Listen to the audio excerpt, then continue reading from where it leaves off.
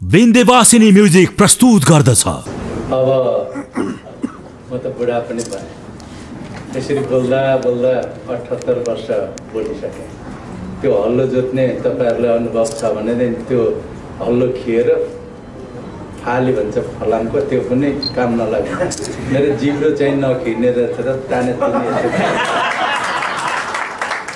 पनि जान्दिनँ पढेको होइन। माननीय नेपालको प्रधानमन्त्रीले छोरालाई सल्लाहकार नियुक्ति गरे जस्तै त होइन होला। त्यो सिक्नु गयो होला। त्यतिखेर पनि मैले भनेको थिएँ एकजना देशको प्रधानमन्त्रीले एकजना ठुलो पार्टीको नेताको छोरालाई हिमाल चढ्नु पाँच करोड रुपियाँ कि तिन करोड कति दिए जस्तो त भएन आज यस्तै यस्तै छ। त्यतिखेर दुर्घटना भयो त्यो जहाज त्यो डढेर मान्छे नचिनिने भएको त्यो डिएनए कि के गर्ने मिसिन थिएन अरे त्यो तिन करोड राख्दो रहेछ अरे त्यो किन्नु नसक्ने सरकारले हिमाल चढ्नु चाहिँ एउटा ठुलो मान्छेको छोरालाई पाँच करोड दिने अब यस्तो देश छ। खैर हामी त्यसैको दोस्रो दर्जाको प्रजा भएर बाँच्नु परेको छ। र एकजना अघि उद्घोषक महोदयले भन्दै हुनुहुन्थ्यो कार्यक्रममा राजेशको कार्यक्रममा धेरै मान्छे हुन्थ्यो तर आज छैन। सायद उहाँको आफन्त मात्र बोलाएको हो कि एक्ज्याक्टली त्यस्तै लाग्यो। त्यो सिको पनि गर्नुपर्ने रहेछ। मेरो फेरि धेरै छोरीचेलीहरू मेरो हजुरबाजेले के भन्नुहुन्थ्यो भने मेरो चौध सेर चौध भाइ नाति भयो भनेर चौध सेर त मेरो भाइ हो सिएस। पन्ध्र सेर सिएस हेडमास्टर भयो प्राविको। पन्ध्र सेर असै भयो छ्यानब्बेजना त युकेमा गएको मेरो बाबुहरू पाँचजना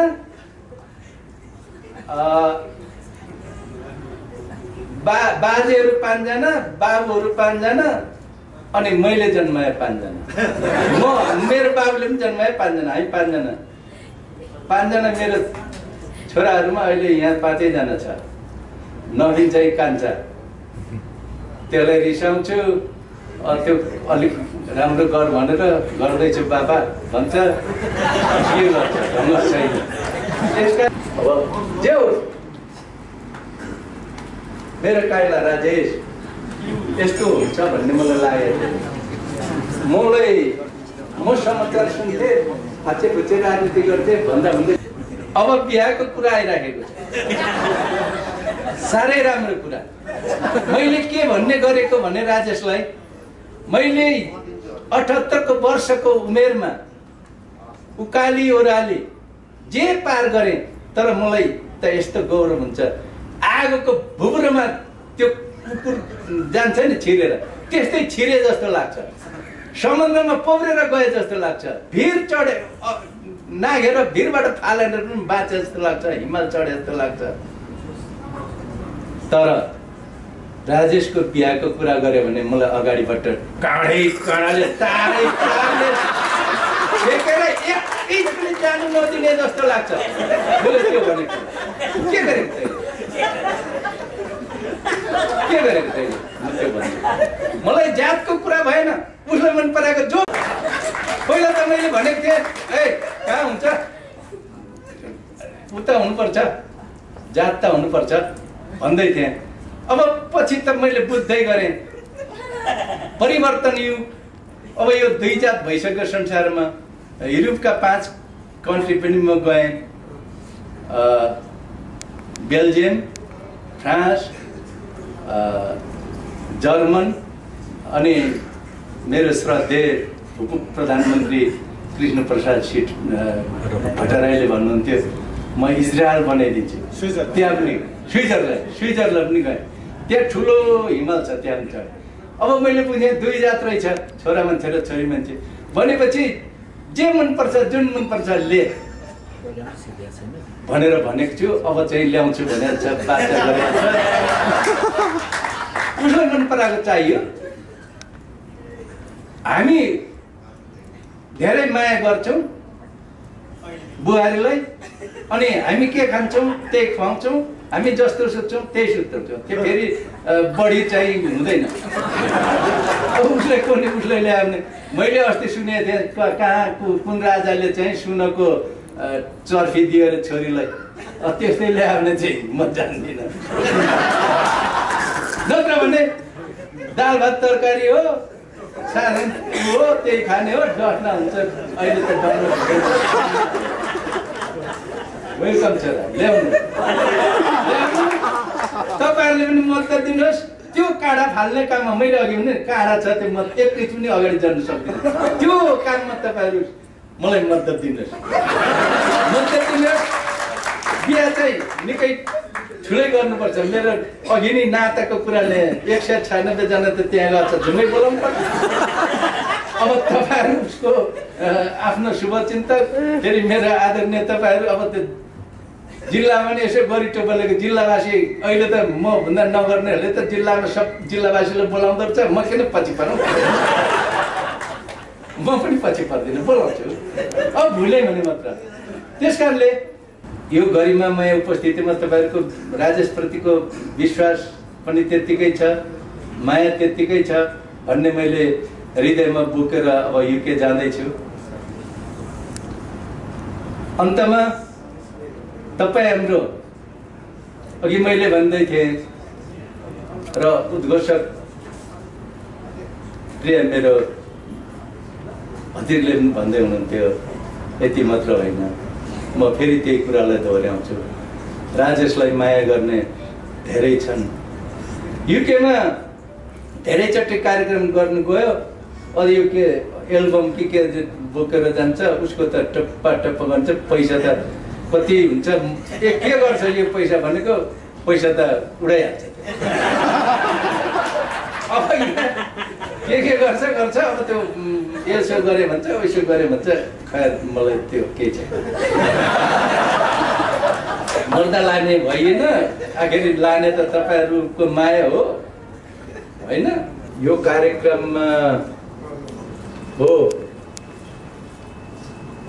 मेरो अत्यन्तै प्रिय स्नेही उद्घोषकज्यूले भन्नुभयो कि राष्ट्रको एउटा नहर कलाकार जन्माउने बाबुआमा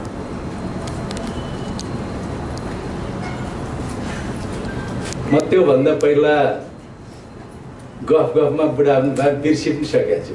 फेरि यो नेताहरूको कुरा सुन्छु टिभीमा त्यस्तै त्यस्तै झन्झनै जाँदो पो रहेछु। म पहिला चाहिँ के भन्न चाहन्छु भने सम्बोधन गर। आज यो कार्यक्रममा मैले अघि भन्दै थिएँ मेरो मलाई तपाईँहरूले जति माया गर्नुभएको छ या छोराले या तपाईँहरूले या जिल्लाले कार्यक्रमको प्रमुख अतिथि छोराको कार्यक्रममा हुनु पाउँदा खुसी पनि लाग्दो रहेछ तर म चाहिँ बिखुसी हुन्छु?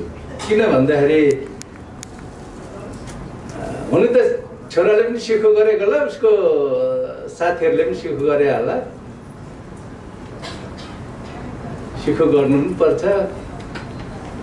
त्योभन्दा पहिला चाहिँ राजेश पायललाई साथ दिनुहुने हुनुहार गीतकार हुनुहार सङ्गीतकार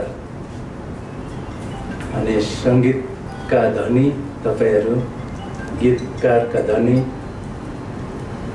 गीत सुन्नुहुने गीतको मर्म र भावना बुझ्नुहुने मेरो स्नेही र आदरणीय जो जो हुनुहुन्छ सबैलाई म बुढा मान्छेको तर्फबाट अभिवादन सबै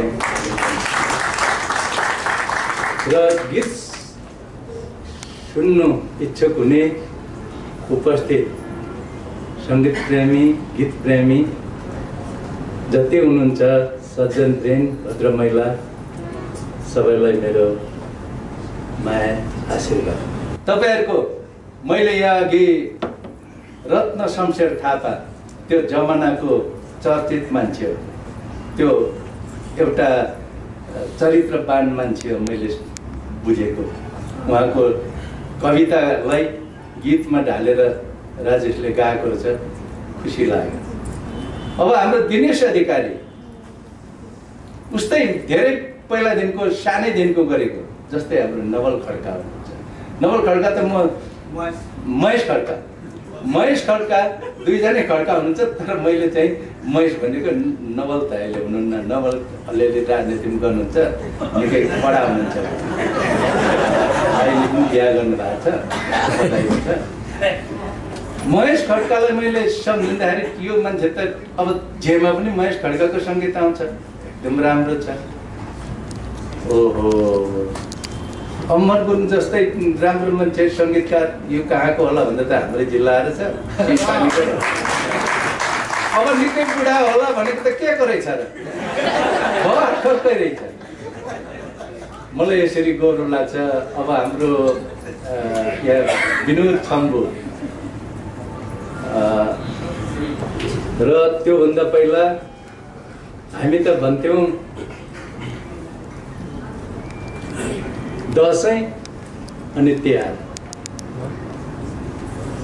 तर प्रचलनमा सबैले बुझ्ने र खास नेपाली ठेट मलाई त लाग्छ तर प्रचलनमा त्यसलाई अलिकता स्ट्यान्डर्ड या राम्रो बनाउँदाखेरि चाहिँ विजय दशमी र शुभ दीपावलीको हार्दिक मङ्गलमय शुभकामना टक्राउन चाहन्छु र यो कार्यक्रम जो आयोजना गर्ने तपाईँहरूको राजेश पाल मेरो त छोरा मात्र। मेरो काइला छोरा र आयोजक गर्ने यो सबै मिलाउने विशेष गरी यो मैले रेडियोमा युकेमा हुँदा पनि र पहिला दर्शन गर्नु गएको थिएँ पोखराको बिन्दीवासिनी। मलाई अरू थाहा छैन। बिन्दीवासिनी नामक संस्था र नामक एउटा हो। उहाँले जो मेरो राजेश काइला तपाईँहरूको राजेश मेरो काइलाको लागि पन्ध्र लाख रुपियाँ दिनुभएको छ? त्यो उहाँले एउटा समाजमा राम्रो कामको थालनी गर्नुभएको छ र भन्नुपर्दा राजेश त उत्साहित हुन्छ नै हुन्छ तर सबैले राजेश जस्तै गर्नुपर्दा चाहिँ म पनि हुन्छु भनेर एउटा प्रेरणाको स्रोतको एउटा माध्यम या बाटो सडक निर्माण गरिदिनु भएको छ। म उहाँलाई हृदयबाट नै त्यस कारणले यी कुराहरूको आज एउटा प्रस्तुत गर्ने सौभाग्य प्राप्त गरेँ। म अत्यन्तै खुसीले हर्ष विवश भएको छु। तपाईँ हाम्रो सम्बन्ध माछा र पानीको जस्तो अनिर्सित रहोस् र बाहिर रहेका सम्पूर्ण अरू नरनाता छिमेकी शुभचिन्तक सबैसँग त्यस्तै सम्बन्ध रहोस्। म भगवान्सँग प्रार्थना गर्छु। अन्त्यमा यो कार्यक्रम भव्य र सभ्य रूपमा नै भएको जस्तो लागेको छ। कमी कमजोरीहरू केही भयो भनेदेखि माफ दिनु होला अ, यति भनेर म मेरो भनाइलाई यतिमै बन्द गर्छु। जय